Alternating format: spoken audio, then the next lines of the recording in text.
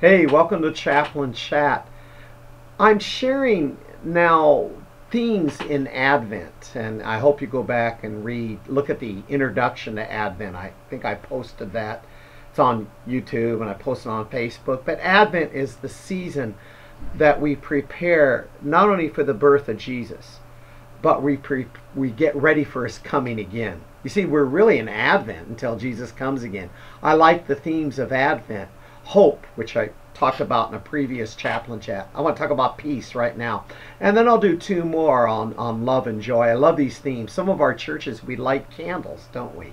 In, in, in, for each Sunday of Advent.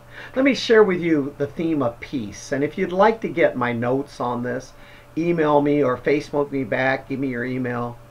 Uh, give me your email, Facebook me back, and, and, and I'll give you the whole notes. But peace is what I want to focus in on this on this season of Advent. Now, peace again is not the way the world looks at peace. You know, I want there to be no more wars. I don't. I want there to be an absence from argument strife. I want everybody to get along. You know, who was it that said, "Can't we just all get along?" Well, in reality, no. We're going to have wars, we're going to have strife, we're going to have that until he comes again. So, what is peace? How do we prepare in peace? And it's not as the world sees it. I think peace is knowing the presence of God's going to be with you in the turmoil, in the wars, in the turmoil, in the wars, in the strife. That's what, but God is with you in peace. One of the passages I really like reading in, in this Advent. It's found in Luke at, at chapter 1. And in, fa- in fact, this is where Zechariah, he's I, I picture him holding his little baby. Now remember, his little baby is John the Baptist. And boy, that's an interesting whole story how John the Baptist came to be. Got to go back and read that. But Zechariah is now, I could see him looking at his little baby John. Maybe he's holding them.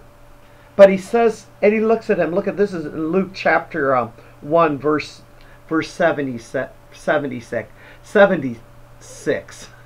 and he says, he says, and you, child, will be called the prophet of the Most High, for you will go on before the Lord to prepare his way, to give his people knowledge of salvation by the forgiveness of their sin.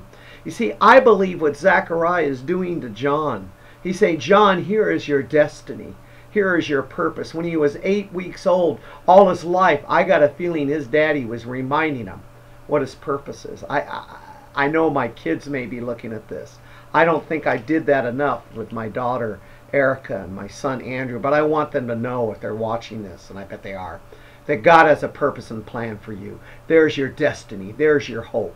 Jesus does for all of us.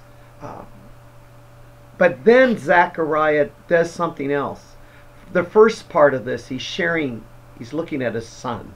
But then he says, Because of the tender mercy of God, with which the sun rises on us, on high, will visit us to shine upon those who sit in darkness and the shadow of death, to guide our feet in the way of peace.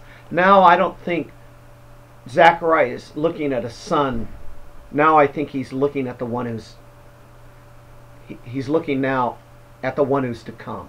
See, now I think the prophecy is about Jesus. The first he's telling a son, here's your destiny. And now he's saying, here's one that's going to come. And I believe he's talking about Jesus, who's going to come and, and who's going to sit with us in the darkness and the shadow of death. He's going to be with us and to guide our fat, our feet on the way of peace. See, there's the second theme for Advent. We prepare in peace. In the midst of the storms, in the midst of all the chaos of the world, God will be with us. He will guide us. He'll guide our fat feet on the path of peace. See, we prepare in hope and we prepare in peace for his coming again. Amen. God bless. See you next time on Chaplain Chat. And we'll talk about preparing in love. And again, if you want all my notes on this, it's not that much, but I can send you other verses. But let's prepare in peace. See you next time on Chaplain Chat.